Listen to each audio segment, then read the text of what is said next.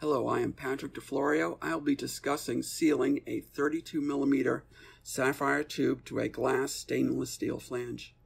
Here are some pictures of the sapphire. You can see the ridges in it. Also had a bow about 3 millimeters over its length. The sapphire was indicated to 10 thousandths run out. A piece of 36 by 40 millimeter quartz was used as a heat shield. It was supported by heavy fiberglass tape. The quartz extended 8 millimeters beyond the edge of the sapphire. Using propane and oxygen and a Knight OX 319K torch tip, the assembly was preheated 25 minutes. Starting with a heavy coating of soot and reducing flame, oxygen was gradually added until most of the soot burned off.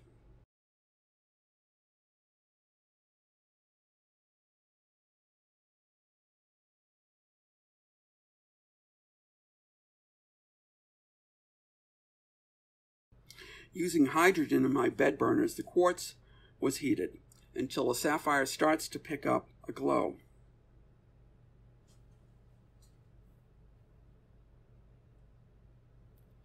I'm trying to keep the end of the glass warm at the same time.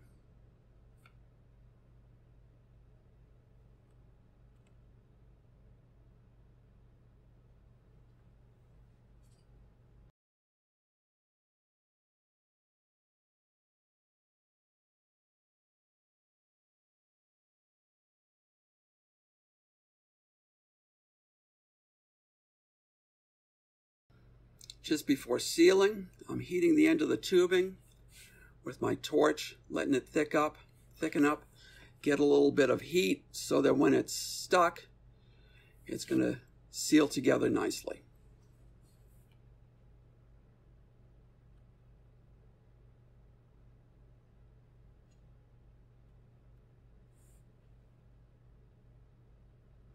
There's the stick.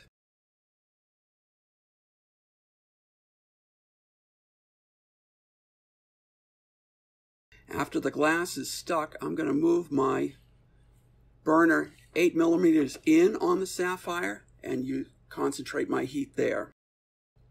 The idea is to let the sapphire get hot, radiate the heat onto the glass so it'll gradually wet and you can work it that way. If you heat the glass, you're going to overwork it and the glass the sapphire will be cold. During this time, what I'm going to do is let the glass gently sag in a little bit, gently blow it out.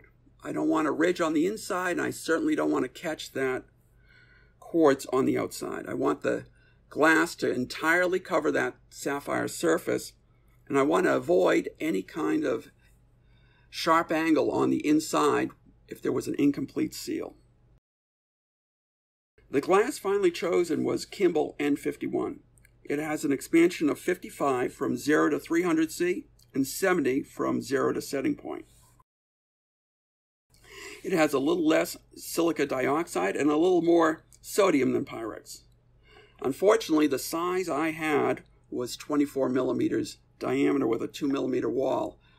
The glass may well be 75 years old. We had previously used this for molding some little glass balloons for pewter um, statues. The sapphire has an expansion of 50 to 66 depending on the orientation of the crystal. It also has two times the density of glass and the thermal conductivity 20 times that of quartz. The melting point is 2053 degrees. The N51 was blown up on the lathe using a graphite roller that was held four millimeters below the tubing. Using a hush tip, I gently blew the tubing to size. It was oven annealed, and then I sent it off to Larson Electronic Glass. They made a nice housekeeper seal onto the stainless steel flange. The housekeeper seal should not be heated. So this is not going to get, the housekeeper will not get oven annealed. I will put that on the outside of the oven.